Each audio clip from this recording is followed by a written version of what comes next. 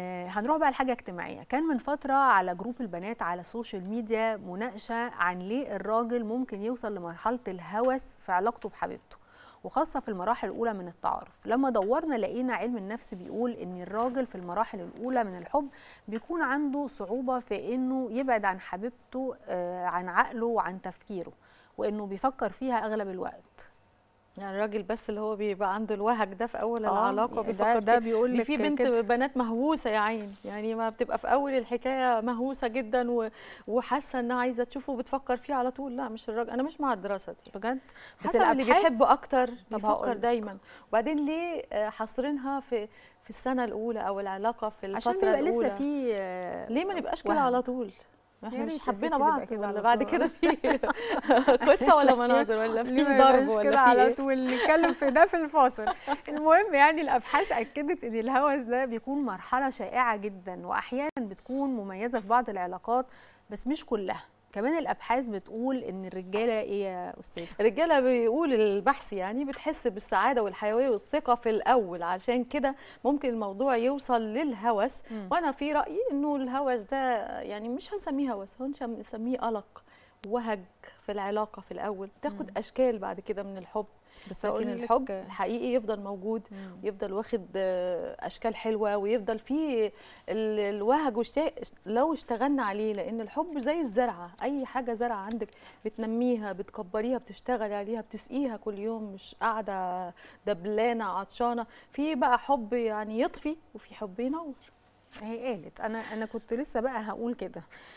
دي حاجة. كنت هقولها على والله لساني. العظيم كنت لسه هقول كده. بس في بقى كمان لو سيبنا الهوس ده أو إحنا انبسطنا قوي كبنات يعني البنات بقى تنبسط وتقول لك ده بيحبني ده بيغير عليا ده بيقول لي ما تروحيش غدا وتكلميني. ده حتى في الشغل بيخليني ساعات أفتح الموبايل من كتر ما هو بيغير عليا عشان بيقول لي لا لازم أبقى مطمن عليكي وأسمع حتى انت بتقولي إيه في الميتنج. وبعد كده الحاجات دي بقى- مر الشكوى إن الحاجات دي بقى بتعمل إيه. سيطرة رهيبة. ممكن بقى ت... نروح لمشكلة كبيرة آه. اللي هي دلوقتي أنا سيطرت على, على هذه الكائنة سيطرت سيطرت وقطعت الأرحام وبعدت الإصحاب وبعدت كل حاجة ألف شكر كملي بقى يا حضرتك وبعد كده بقى حبيبتي الدنيا اتغيرت قطعت يعني الأرحام عشان كده مش لازم ناخد حاجة منى لا والله دي نقطة مهمة. قوليها بعد إذنك آه تاني آه آه الشخص الغيور قوي آه. أو اللي بيحسس واحدة بالاحتواء وانت فين وصباح الخير مم. وتصبحي على خير وبتاع وبعدين عايزها يبقى هي هو كل محور كل حياتها. وهي تفضل تتمحور بقى تتمحور. لحد ما تخلف البيبي الأولاني والتاني وتفضل تتمحور حواليه وبعدين هو قاطع عن كل الناس وبعدين ما تسمعيش كلام الناس أهلها وبعتي عن كمان. أصحابك دول بس تلاقي. بقى ده عنده حب تملك مم. ده مش حب أهو بقى ده الهوس مم، مم، مم. طيب فبالراحة كده. احبب حبيبك هونا ما عسى أن يكون بغيضك يوما ما وابغض بغيضك هونا ما عسى أن يكون حبيبك يوما ما بالراحة مفيش حد كده سوبر أو في شخصية سوبر. إحنا فينا إحنا ما يعني بني آدمين مش ملائكه فينا ميزات وفينا عيوب. بالراحة وندرس الشخص. وخاصة في السنة الأولى اللي هي بتبقى فيها الخطوبة بنتعرف على بعض ومش شخص. بنتعرف على أسرة. انت مم. داخلة أسرة هتبقى هتكوني أسرة كبيرة. أسرتين هيدخلوا في بعض. أسرتين هيتعاملوا مع بعض مش انت وهو بس. كنا لسه بنتكلم عن جزء يعني من الموضوع ده آه، على اللايف مع رئيس التحرير الاستاذ محمد سامي عن آه، عن القصة بقى. بتاعت آه. احكي لي بقى. لا قصة طويلة هنتكلم في اللايف؟ انت آه، قلتي طب. ما تعملي سؤال على الصفحة. يعني يطلق سؤال, سؤال. على الصفحة. أستاذ محمد سامي أثار موضوع مهم جدا وكنا بنتكلم عن الزواج. إمتى آه إمتى النقطة اللي استحالة بعدها العشرة ويجب فيها الطلاق. لو في إهانة لو في تطاول. هو دي حاجات جديدة سواء أهو. عليكي أو على آه، مم. كل المحيطين بيكي أسرتك حد غلط في حد.